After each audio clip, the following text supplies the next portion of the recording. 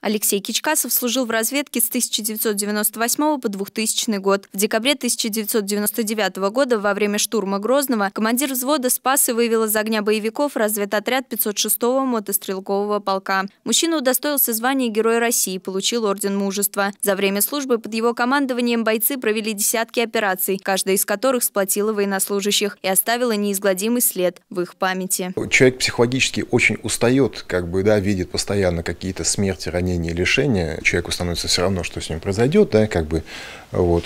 Или наоборот появляется чувство бесстрашия, такой, да, как бы я жив, все такое, со мной ничего не случится.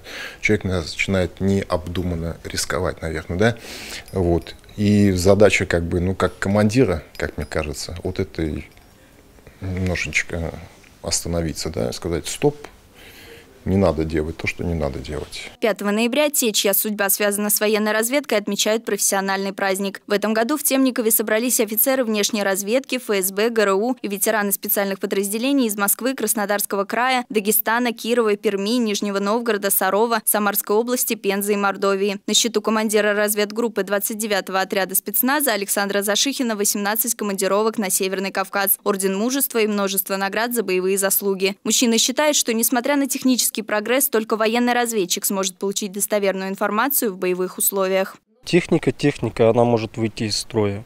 Сейчас разная усовершенствованная техника есть по борьбе с радиоразведкой. Значит, можно заглушить, можно сбить что-то. Поэтому достоверную информацию э, невозможно узнать с помощью техники. Все равно нужны люди. Человек должен быть хладнокровный, уверенный в себе, в своих товарищах. Ну, выносливым, сильным. Военнослужащие посетили Темниковский историко-краеведческий музей имени Ушакова, возложили цветы к месту захоронения разведчика Михаила Михайловича Кицаева и почтили память погибших коллег в Рождество Богородичном Санаксарском мужском монастыре. Дарья Козина, Артемий Глазков, Александр Мальков, служба новостей Саров 24.